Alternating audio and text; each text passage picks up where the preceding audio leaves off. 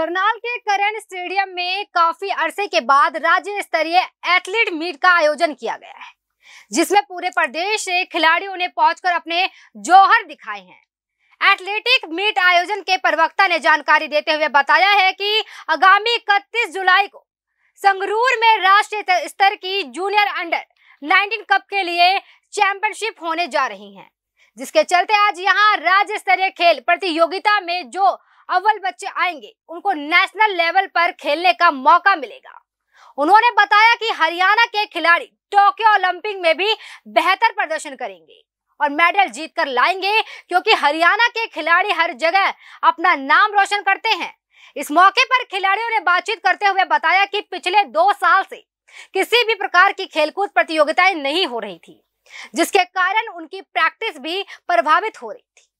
परंतु अब खेल के माध्यम से खिलाड़ियों को अपनी प्रतिभा का प्रदर्शन करने का बेहतरीन मौका मिला है। देखिए इस रिपोर्ट में। दो दिन का उसके बारे में क्या आज बहुत ही अच्छा प्रदर्शन किया मैंने और आगे कोशिश करूँगा इससे अच्छा प्रदर्शन करूँ। लगता है काफ़ी मेहनत रही होगी क्योंकि काफ़ी टफ भी रहा हुआ डेढ़ साल बाद दोबारा मैदान में उतरना। हाँ डेढ़ साल बाद इस कोरोना टाइम में प्रैक्टिस भी नहीं हुई हमारी और इसको करके थोड़ा तकलीफ़ हुई है। कितने समय से आप हैं? मैं तीन साल से खेल रहा हूँ। तो आज कैसा रहा? आज वैसे पहले एक महीने पहले इंजरी भी आ रखी थी मेरी। तो उस इंजरी को देखते हुए इंजरी से उठ कर जो मैंने किया वो बहुत अच्छा फील हो रहा है मुझे। कहाँ से मैं भिवानी से। क्या नाम है? सुनील। के बारे में क्या? माय नेम साक्षी मैं स्टेट लेवल के लिए खेली थी और मेरा इवेंट हाई जंप था। मैंने 150 कराया आज। और कौन कौन से खेल थे? इसमें सारे एथलेटिक्स के गेम थे लॉन्ग जंप रेसेस थी और शॉर्ट लॉन्ग सब डिपेंड करता था बट मेरा हाई जंप था। क्या लगता है कोरोना के काफ़ी समय बाद खिलाड़ी मैदान में उतरे? कंपटीशन काफ़ी टफ इतना नहीं था क्योंकि काफ़ी प्लेयर्स किसी को कोरोना हुआ था कोई वैसे फिजिकली डिसेबल था तो काफ़ी प्रॉब्लम्स हो रखी थी सबको। तो काफ़ी मेहनत भी की होगी। लॉकडाउन की वजह से काफ़ी प्रॉब्लम हुई थी। आप कितने समय से खेल रहे हैं? मैंने जनवरी से स्टार्ट करा था इसी साल से। तो अब आपने क्या खेला आज? आज मैंने स्टेट के लिए खेला मेरी फ़र्स्ट पोजीशन है। क्या नाम है साक्षी। कहाँ से हैं? सोनीपत से। किसके बारे में क्या? जो ये दसवीं हरियाणा स्टेट जो एथलेटिक चैम्पियनशिप का आयोजन आज करनाल के करम स्टेडियम में किया जा रहा है। और ये सत्रह और अठारह जुलाई से दो दिन का ये कार्यक्रम है, रखा है। और इसके लिए मैं आभार प्रकट करना चाहूँगा इस हरियाणा एथलेटिक्स चैम्पियनशिप के जो सेक्रेटरी हैं राजकुमार मिठन जी का, जिन्होंने एक दिए से दिए जलाने का काम किया। और बधाई देना चाहूँगा खिलाड़ियों को, जो खिलाड़ी आगे चलकर इस देश की बागडोर संभालेंगे। क्योंकि हरियाणा की मिट्टी का इतिहास रहा है। जिन्होंने भी इस मिट्टी में विजय प्राप्त की, उसने हिंदुस्तान पर राज किया। चाहे वो राजनीति में हो या खेलों में हो, इस मिट्टी ने बलवंत सिंह जी बल्लू जैसे ऐसे ऐसे खिलाड़ी दिए। सानिया नेहवाल, सचिन तेंदुलकर, जिन्होंने भारत का नाम विश्व स्तर पर रोशन, स्तर पर रोशन किया। मैं इन खिलाड़ियों को, इनकी प्रतिभा को और उनको जन्म देने वाली मातृभूमि को मैं सल्यूट करता हूँ। और अंत में जो खिलाड़ी यहाँ पर सेकंड आए उनके उज्जवल भविष्य की कामना करता हूँ।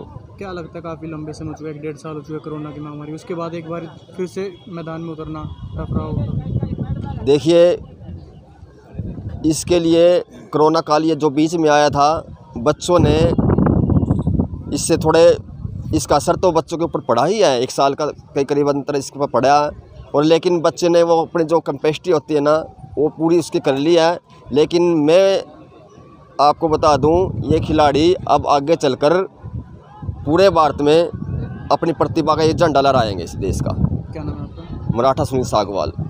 आज इवेंट रहा आज ये दो दिवसीय हमारी जूनियर की अंडर ट्वेंटी की स्टेट चैम्पियनशिप है। इस चैम्पियनशिप के द्वारा 31 जुलाई को संगरूर में जूनियर फेडरेशन कप होना है। उस फेडरेशन कप से वर्ल्ड चैम्पियनशिप होनी है हमारी सितंबर में, उसकी टीम का चयन होना है। तो उसी का स्टेप बाय स्टेप ये स्टेट मीट है। यहाँ से जिन बच्चों का क्वालिफाई होगा, वो नेशनल मीट में जाएँगे। वहाँ से जिनका क्वालिफाई होगा वर्ल्ड चैम्पियनशिप में नोरोबी केनिया में होने जा रही है वो। तो हमें उम्मीद है हमारे हरियाणा के ज़्यादा से ज़्यादा बच्चे इस मीट में क्वालिफाई करेंगे तथा वो नेशनल में भी क्वालिफाई करके वर्ल्ड चैम्पियनशिप खेलेंगे। पहले भी हमारा वर्ल्ड चैम्पियनशिप में जैसे बहुत सालों बाद नीरज चोपड़ा का वर्ल्ड चैम्पियनशिप में ही पहला मेडल आया था, उसके बाद ही वो फ़ेमस हुआ था। तो हमारे ओलंपिक के अंदर भी चार खिलाड़ी जा रहे हैं हरियाणा के एथलेटिक्स में। तो उम्मीद है इस वर्ल्ड चैम्पियनशिप में भी हमारे हरियाणा के ज़्यादा से ज़्यादा बच्चे और स्टेटों से ज़्यादा हमारे सेलेक्ट होंगे। तो आज करनाल में दो दिवसीय का था। जी जी दो दिवसीय थी। हमारी कुछ इवेंट कल हुए थे शाम का और आज का सेशन है। आज 100 मीटर 400 मीटर है। इसके हमारे बच्चे बिल्कुल ऑल इंडिया में जो स्प्रिंट्स है इसमें हमारे बच्चे टॉप करते हैं।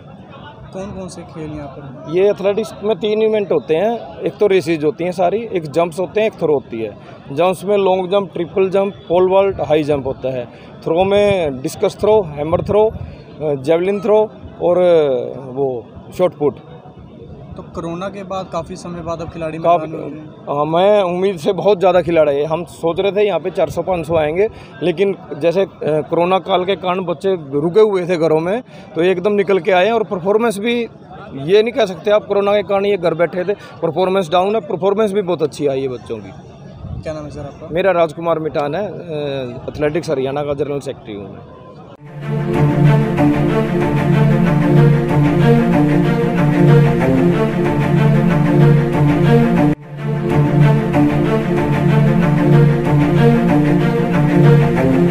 ऐसा अवसर फिर नहीं मिलेगा। अब हरियाणा सरकार की दीनदयाल आवास योजना के अंतर्गत सेक्टर वन तरावड़ी में 135 और 142 गज के प्लॉट मात्र इक्कीस हज़ार रूपए देकर बुक करवाए। क्रेडिट सोसाइटी सड़क sewerage street light park community centre तुरंत रजिस्ट्री और प्रोसेशन भी। Call nine four double six zero three four triple zero